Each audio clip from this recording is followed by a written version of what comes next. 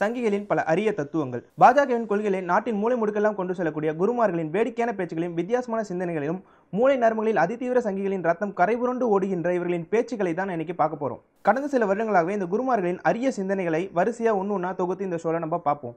கேன்சருக்கு மருந்து பசுவின் மூத்திரம். ஆமாங்க உண்மையிலே கேன்சருக்கு மருந்து பசுவின் மூத்திரம் தானே பாஜக எம்பி சாத்வி பிராக்யா தாக்கூர் சொல்லியிருக்காங்க. அது மட்டும் இல்லாமல் பசுவின் மூத்திரத்தில் எண்ணற்ற மருத்துவ குணங்கள் இருப்பதாகவும் சொல்லியிருக்காங்க. கோழியின் கழிவுதான் முட்டை.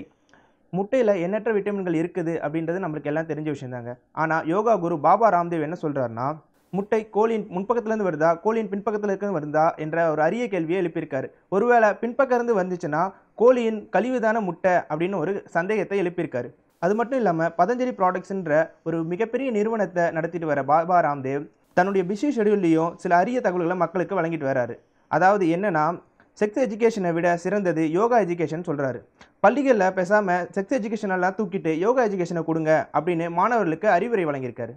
என்னதான் சங்கிகளை சங்கிகள் என்று குறிப்பிட்டாலும் பசுவையும் மனுஷனையும் எப்பயுமே ஒன்றுபடுத்தி பார்க்குறதுல அவங்கள அடிச்சுக்கிறதுக்கு ஆளே கிடையாது. அப்படி பசுவையும் மனுஷனையும் ஒன்றாக்கி ஒரு தத்துவத்தை சொல்லியிருக்காங்க. ஐந்தறிவு உள்ள மிருகத்தோட ஆறறிவு உள்ள மனிதனை ஒப்பிட்டு பேசுறது சங்கிகளையும் வழக்கமாகவே இருந்துச்சு. அது ஒருபடி மேலே போய் எண்பது பர்சன்டேஜ் ஜீன்கள் மனிதருக்கும் பசுவுக்கும் ஒன்றா இருக்குதுன்னு பாதுகாப்பு அமைச்சர் ராஜ்நாத் சிங் சொல்லியிருக்காரு.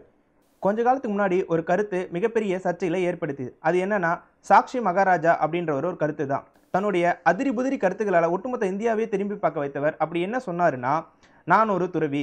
நான் கேட்கறதை நீங்கள் செய்யலைன்னா உங்களெல்லாச்சும் சபிச்சிடுவேன் அப்படின்னு சொல்லியிருக்காரு. இப்படி இவங்கெல்லாம் ஒரு பக்கம் சொல்லிட்டு இருந்தாலும் நாட்டின் பிரதமர் என்ன சொல்கிறாருன்னு நம்ம பார்ப்போம். கர்ணன் ஒரு மரபணு தயாரிப்பு அப்படின்னு சொல்லியிருக்காரு.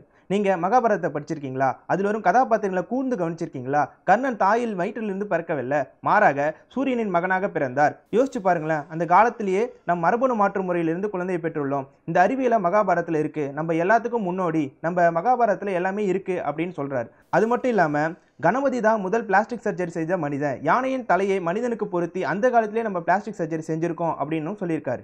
இதெல்லாம் விட அட்டகாசமான ஒரு செய்தியை தாங்க பாஜக அமைச்சர் சத்யபால் சிங் நம்மளுக்கு சொல்லியிருக்காரு. சார்லஸ் டார்வின் சொல்வது போல நாம் குரங்கிலிருந்து மனுஷனா பிறக்கல. ஏன்னா குரங்கிலிருந்து மனுஷனா மாறினதை யாருமே பார்க்கல. அப்போ பார்க்காத ஒரு விஷயத்த சார்லஸ் டார்வி சொல்றாருன்னா அவர் எவ்வளோ பெரிய முட்டாள்னு அவரே ஒரு முட்டாள் ஆக்கியிருக்காரு. ஏற்கனவே சொல்லது போல பசுவையும் சங்கிகளையும் பிரிக்கவே முடியாது.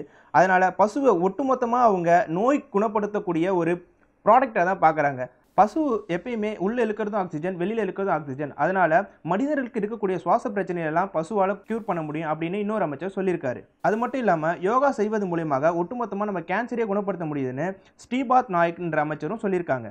நியூக்ளியர் ஆராய்ச்சியின் ஆரம்ப புள்ளியில் இருக்கக்கூடிய நாம நியூக்ளியர் ஆராய்ச்சி செஞ்சது யாருன்னு பார்த்தோன்னா துறவி கானட் அப்படின்னு ஒரு பெரிய பரப்புரையை செஞ்சிருக்காரு. நம்ம ரமேஷ் போக்பாரியால் நியாஸ். இவர் என்ன சொல்றாருன்னா நியூக்ளியர் ஆராய்ச்சியை துறவி கானட் அவர்கள் பல ஆண்டுகளுக்கு முன்னாடியே கண்டுபிடிச்சிட்டாருன்னு சொல்றாரு. எப்பயுமே நம்மளுக்கு கண்டென்ட் கொடுக்கறதுல முதல் ஆளாக இருக்கிறது நித்யானந்தா அவர் இப்போ புதுசாக ஒரு நாடு வாங்கி அதுக்கு கைலாஷான்னு பேர் வச்சு அங்கே வரியும் இல்லைன்னு சொல்லியிருக்காரு. வரி இல்லைன்னு மட்டும் சொன்னது மட்டும் இல்லாமல் எங்களை எல்லாத்தையும் பரமசிவன் பாதுகாப்பார் அப்படின்றதும் ஸ்டேட்மெண்ட் விட்டுருக்காரு. மோடி கலந்துக்கிட்ட ஒரு மீட்டிங்கில் கேஜே கிருஷ்ணன் என்ற ஆராய்ச்சியாளர் என்ன சொல்கிறாருன்னா ஐசக் நியூட்டனும் ஆல்பர்ட் ஐன்ஸ்டனும் சொன்னது ரொம்ப தப்பு. இங்கே வீசுறது ஒரே அலை மட்டும்தான் அது மோடியோட அலை மட்டும்தான்னு சொல்லியிருக்காரு. இப்படிலாம் பேசிகிட்டு இருக்கும்போது சுவாமி கிருஷ்ணா ஸ்வரூப் சாஜி என்ன சொல்கிறாருன்னா ஒருவேளை பெண்கள் வந்து மாதவிடாய் தருணத்தில் தங்கள் கணவனுக்கு சாப்பாடு செய்து கொடுத்தால் அவங்க அடுத்த பிரிவில் கண்டிப்பாக நாயாக தான் பிறப்பாங்கன்னு சொல்லியிருக்காரு. இப்படி எண்ணற்ற பல தீவிர பரப்புரைகளையும் பகுத்தறிவுமிக்க கருத்துக்களையும் சங்கிகள் சொல்லிக்கொண்டே இருக்கிறார்கள். இப்படி வடநாட்டு முழுக்க சுற்றி சுற்றி பல தத்துவங்களை வழங்கிய அறிஞர்களை பார்த்தோம். அடுத்தது தமிழ்நாட்டில் ஒருத்தர் இருக்காரு. அவர் யாருன்னு அடுத்த வீடியோவில் பார்க்கலாம். தொடர்ந்து உயிர்மை டிவியோட வீடியோஸை பார்க்க சேனலை சப்ஸ்கிரைப் பண்ணுங்கள் உடனடி அப்டேட்ஸை பெற பெல் ஐக்கானை ப்ரெஸ் பண்ணுங்கள்